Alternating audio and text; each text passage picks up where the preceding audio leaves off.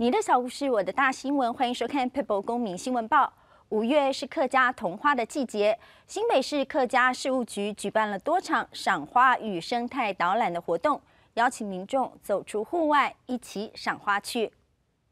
一年一度的桐花季登场了。新北市政府在五月二十号之前，将会在三芝、瑞芳、树林、莺歌、石定等地方举办一系列的生态导览活动，以及客家文化、美食的介绍等等。介绍民众来了解，说我们新店有这么好的二八子植物园，那么已经有这么呃多年呃来呃这个经营，而且并且呢把它开发的那么成熟，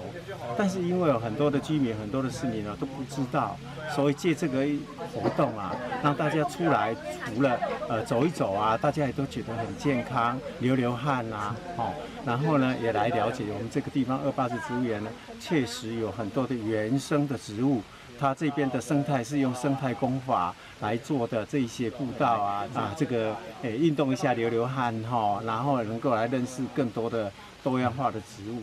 这这个植物园也是我们第一次过来的，经由这次的新北新北市政府办这个活动，让我们有这个机会来这个公园里面做参观。那经由这个导览老师的一些介绍，让我们除了当然除了这次的主题。桐花之外，也了解到很多不一样，认识很多不一样的植物，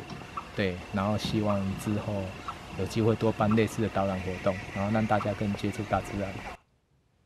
台东东河乡的东河国小，为了让小朋友体验传统阿美族的文化，特别在马武窟溪下举办传统竹筏的体验活动，有长辈带着小朋友一起划过过往捕鱼讨生活的溪流，回顾祖先生活的点滴。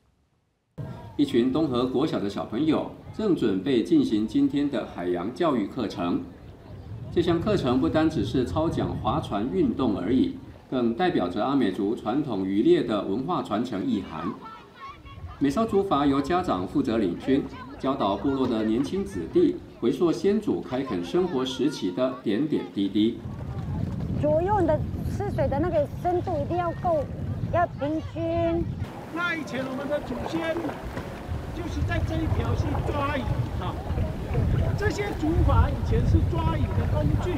现在大家没有抓鱼了，所以我们就推展这个所谓的体验的活动。呃，这个竹筏就是当当时，当时为了要生存，然后才才有的一个工具。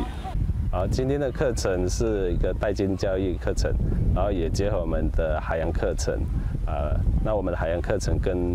呃我们这一条东河呃桥下的溪叫做毛五库溪，我们把呃就是让小孩子和老人家一起来呃体验，或者是去回顾以前老人家在这个东河桥下怎么过生活。两个小时的课程下来，不但大人是个个满头大汗，小朋友的笑声更是传遍山谷与溪流间的各个角落。从空中俯瞰，原本宁静的溪流，一时间也充满着大人和小孩互动的欢乐声响。这条马武库溪几百年来孕育出好几世代的阿美族人，沿着溪流以海为生的生活习惯，能够完完整整的世代相传。